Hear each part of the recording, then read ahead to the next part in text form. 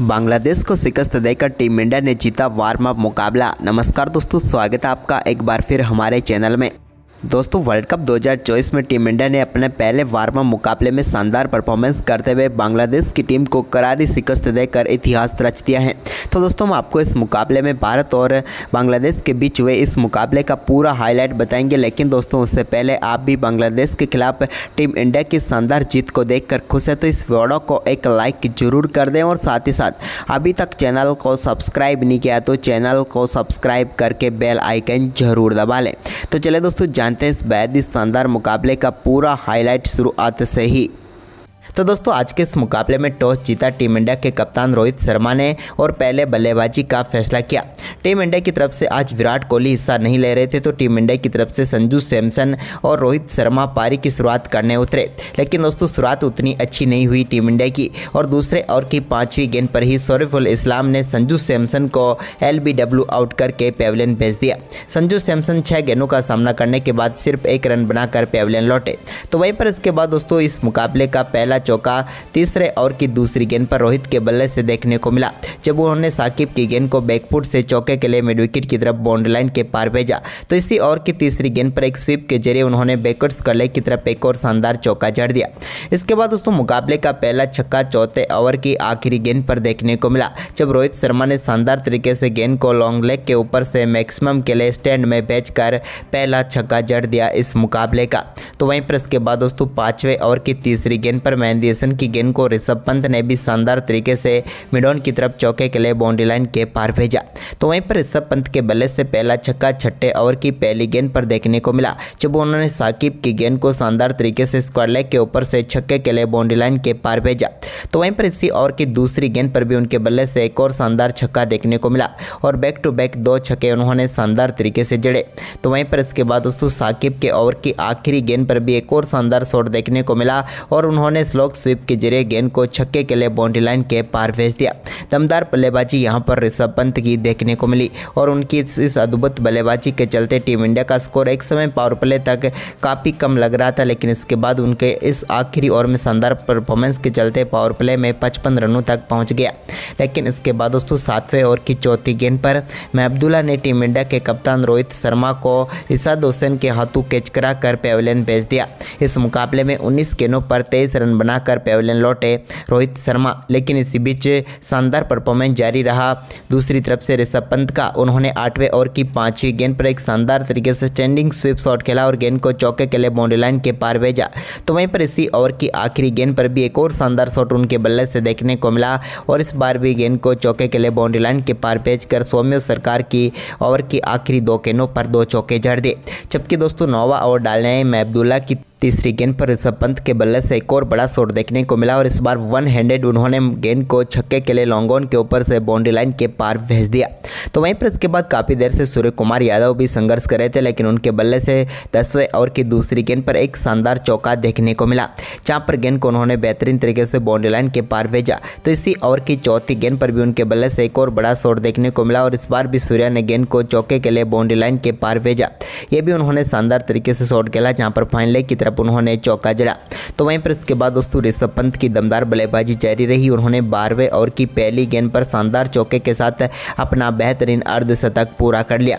लेकिन अर्धशतक पूरा करने के साथ ही यहाँ पर ऋषभ पंत रिटायर्ड आउट होकर पेवलियन भी लौटे। उन्होंने शानदार बल्लेबाजी की और इस मुकाबले में शानदार तरीके से उन्होंने तिरपन रनों की पारी खेली बत्तीस गेंदों पर। इसके बाद दोस्तों सूर्य कुमार यादव का शानदार परफॉर्मेंस देखने को मिला। उन्होंने चौदहवें ओवर की चौथी गेंद पर भी एक और शानदार चौका बैकवर्ड स्क्वायर की तरफ़ जड़ दिया स्वीप के ज़रिए और गेंद को बाउंड्री लाइन के पार भेजा। तो इसके बाद शिवम दुबे भी पंद्रहवें ओवर की पहली गेंद पर एक बड़ा शॉट खेलने में कामयाब हुए, जहाँ पर उन्होंने लॉन्ग ऑफ़ के ऊपर से गेंद को स्टैंड में डिपॉजिट कर दिया। काफ़ी देर के संघर्ष के बाद इनके बल्ले से छक्का निकला, लेकिन दोस्तों इसी ओवर की चौथी गेंद पर वो एक और बड़ा शॉट खेलना चाहते थे, लेकिन इस बार गेंद सीधे महबदुल्ला के हाथ में गई, जहाँ पर उन्होंने कमाल का कैच बाउंड्री लाइन पर पकड़ा और पेवलियन भेज दिया शिवम दुबे को, जिन्होंने शानदार परफॉर्मेंस करते हुए सोलह गेंदों पर चौदह रन बनाए। लेकिन इसके बाद दोस्तों क्रीज पर उतरे हार्दिक पांड्या ने सोलहवें ओवर की तीसरी गेंद पर एक शानदार चौका एक्स्ट्रा कवर के ऊपर से जड़ दिया। तो वहीं पर इसके बाद दोस्तों इसी ओवर की आखिरी गेंद पर सूर्य कुमार यादव ने भी कट के ज़रिए गेंद को बाउंड्री लाइन के पार भेज दिया। इसके बाद दोस्तों हार्दिक पांड्या ने सत्रहवें ओवर की पहली गेंद पर एक बड़ा छक्का जड़ा। जहाँ पर उन्होंने तनवीर इस्लाम की गेंद को सीधे छक्के के लिए बाउंड्री लाइन के पार भेज दिया मिड विकेट के ऊपर से। तो वहीं पर ओवर की दूसरी गेंद पर भी एक बार फिर से गेंद को लॉन्ग ऑफ़ के ऊपर से छक्के के लिए बाउंड्री लाइन के पार भेजने में कामयाब हुए। यहाँ पर हार्दिक पांड्या और बैक टू बैक दो छक्के जड़ दिए। लेकिन इसी ओवर की तीसरी गेंद पर भी उन्होंने एक और बड़ा शॉट खेला और इस बार डीप मिड विकेट के ऊपर से छक्का जड़कर छक्कों की हैट्रिक हार्दिक पांड्या ने पूरी कर डाली और दमदार बल्लेबाजी का यहाँ पर परिचय दिया। लेकिन दोस्तों, इसी ओवर की पांचवी गेंद पर सूर्य कुमार यादव एक और बड़ा शॉट खेलना चाहते थे, लेकिन यहाँ पर वो गेंद सीधे तोविड हृदय को थमा बैठे और 18 गेंदों पर इकतीस रनों की शानदार पारी खेलकर सूर्य कुमार यादव भी पेवलियन लौटे। उनको तनवीर इस्लाम ने आउट किया। इसके बाद दोस्तों यहाँ पर एक और छक्का उन्नीसवें ओवर की पांचवी गेंद पर हार्दिक पांड्या के बल्ले से देखने को मिला एक्स्ट्रा कवर के ऊपर से। तो वहीं पर इसके बाद बीसवें ओवर में भी उन्होंने एक और चौका जड़ा और टीम के स्कोर को निर्धारित बीस ओवर में एक सौ बयासी रनों तक पहुँचाया व एक सौ तिरासी रनों का लक्ष्य बांग्लादेश के सामने रखा। वहीं पर दोस्तों इस लक्ष्य का पिच्चा करने उतरी बांग्लादेश की टीम को पहले ओवर में ही करारा झटका लगा और यहाँ पर अर्शदीप सिंह ने सौम्य सरकार को ऋषभ पंत के हाथों कैच कराकर पेवलियन भेज दिया। वो दो गेंदों का सामना करने के बाद शून्य पर ही चलते बने और पहली सफलता टीम इंडिया को मिली। इसके बाद दोस्तों यहाँ पर लिटन दास भी ज़्यादा देर तक टिक नहीं पाए और तीसरे ओवर की पहली गेंद पर अर्शदीप सिंह ने उनको भी बोल्ड करके पेवलियन भेज दिया। उन्होंने आठ गेंदों का सामना किया और वो भी छः रन बनाकर पेवलियन लौटे और अर्शदीप सिंह ने दो ओवर में दो सफलताएँ टीम इंडिया को दिला दी। इसके बाद दोस्तों, नजमल हसन सांतो को मोहम्मद सिराज ने पेवलियन भेजा। चौथे ओवर की पांचवी गेंद पर वो बड़ा शॉट खेलना चाहते थे, लेकिन यहाँ पर गेंद उनके बल्ले पर सीधी तरह से आई नहीं और सीधे चली गई हार्दिक पांड्या के हाथों में। और यहाँ पर नजमल हसन सांतो छः गेंदों का सामना करने के बाद शून्य पर ही पेवलियन लौट गए। इसके बाद तो दोस्तों, यहाँ पर तोविड हृदय के बल्ले से कुछ अच्छे शॉट ज़रूर देखने को मिले, जब उन्होंने पाँचवें ओवर की पाँचवीं गेंद पर एक शानदार चौका मिड विकेट की तरफ़ लगाया। हार्दिक पांड्या की गेंद पर। तो वहीं पर इसके बाद दोस्तों यहाँ पर तंजीद हसन ने भी शानदार तरीके से सातवां ओवर डालने आए। मोहम्मद सिराज की पहली गेंद पर कवर की तरफ़ एक शानदार चौका जड़ा। तो वहीं पर इसी ओवर की दूसरी गेंद पर भी उनके बल्ले से कवर की तरफ़ ही एक और चौका देखने को मिला और बैक टू बैक उन्होंने दो चौके जड़े। लेकिन इसके बाद दोस्तों आठवां ओवर डालने आए। अक्षर पटेल ने शानदार गेंदबाजी करते हुए यहाँ पर तोविड हृदय को पेवलियन भेजा। हृदय बड़ा शॉट खेलना चाहते थे, लेकिन यहाँ पर गेंद सीधे रविंद्र जडेजा के हाथों में गई। और अक्षर पटेल को आज के मुकाबले की पहली सफलता मिली। हम बात करें यहाँ पर तोविद की तो वो चौदह गेंदों का सामना करने के बाद तेरह रन बनाकर पेवलियन लौटे। तो वहीं पर इसके बाद दोस्तों तंजीद हसन भी ज़्यादा देर तक टिक नहीं पाए और नौवा और डालने आए हार्दिक पांड्या की दूसरी गेंद पर वो बड़ा शॉट खेलना चाहते थे, लेकिन उनसे गलती हुई और गेंद सीधे जाकर पहुँच गई अर्शदीप सिंह के हाथों में और वो भी 18 गेंदों पर 17 रन बनाकर पेवलियन लौटे और पांचवा झटका बांग्लादेश को लगा। वहीं पर दोस्तों, इसके बाद बांग्लादेश की तरफ़ से पंद्रहवें ओवर में एक बार फिर शानदार बल्लेबाजी देखने को मिली, जब दूसरी गेंद पर महबदुल्ला ने शानदार तरीके से बिहाइंड द स्क्वायर गेंद को छक्के के लिए बाउंड्री लाइन के पार भेजा।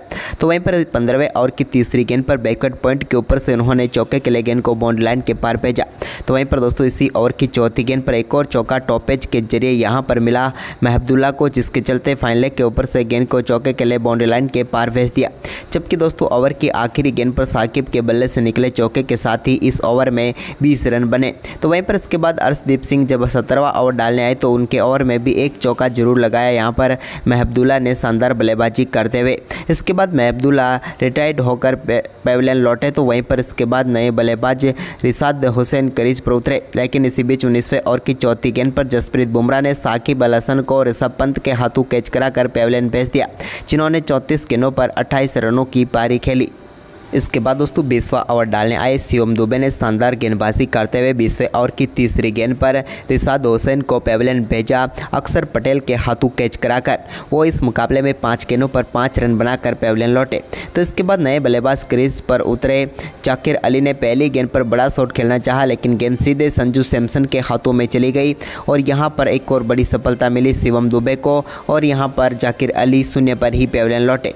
लेकिन इसके बाद यहाँ पर बांग्लादेश की टीम निर्धारित बीस ओवर में 120 रनों तक ही पहुँच पाई और भारतीय टीम ने बासठ रनों से इस मुकाबले को जीत लिया। तो दोस्तों, टीम इंडिया की जीत आपको कैसे लगी? आप हमें अपने राय कमेंट बॉक्स में ज़रूर दें। धन्यवाद दोस्तों।